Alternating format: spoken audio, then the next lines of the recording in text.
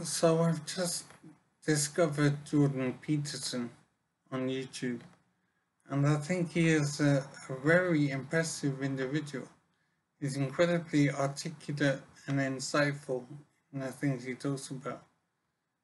And um, I'm surprised I haven't come across him before. But um, I will look into his books, I think 12 Rules for Life and possibly Maps of Meaning as well. So we'll look into that.